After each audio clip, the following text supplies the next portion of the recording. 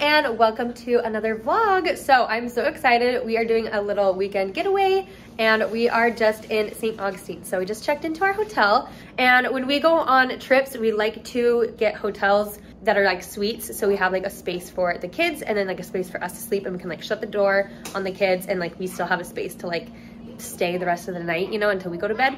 So our room is like so nice. I really love it and it's a newer hotel and we're really close to downtown so we're just going to be walking um, and seeing all the sights and everything okay so here's just a little tour of our room it's got a nice little kitchen area a full fridge a table um, here's a pull out bed here so we'll probably take the mattress from it and put it on the floor for the boys to sleep on and then here's the room. It's really big. So if it doesn't work for the kids to sleep here, um, we'll probably keep the kids on the floor here, just on the mattress this bed, a large bathroom area, large closet, and the vanity.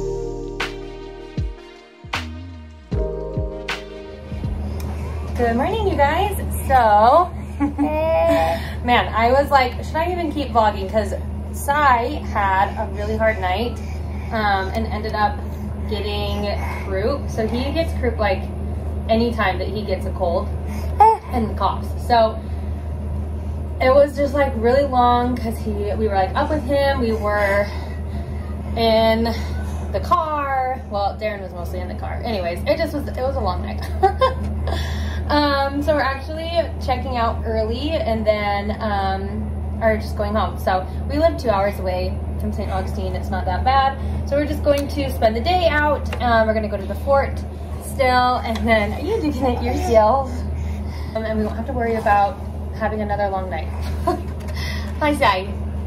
But we had a really good day yesterday. It was tons of fun to like see everything. It kind of feels like, we were like, I was talking to Darren about this and like, it just feels like so themed, like the downtown, like old town area. It's so funny. Eh.